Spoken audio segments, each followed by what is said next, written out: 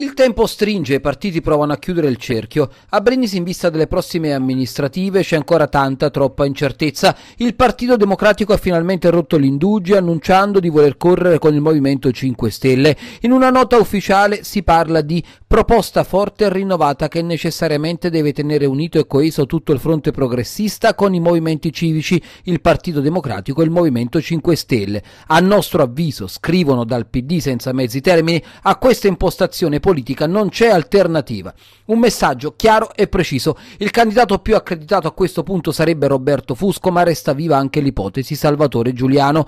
Un accordo che, dunque, porterebbe il sindaco uscente Riccardo Rossi a candidarsi da solo col suo movimento Brindisi Bene Comune e altri partiti di sinistra già pronta anche una coalizione di centro e qui ci sarebbe ancora il terzo candidato. Ecco il primo manifesto. Capofila il Partito Repubblicano con il segretario Vito Birgitta che annuncia abbiamo condiviso con azione, brindisi a colori, Casa dei Liberali e senso civico alcune linee programmatiche che intendiamo offrire al contributo di altre forze e movimenti civici che intendano operare per restituire alla città una propria identità.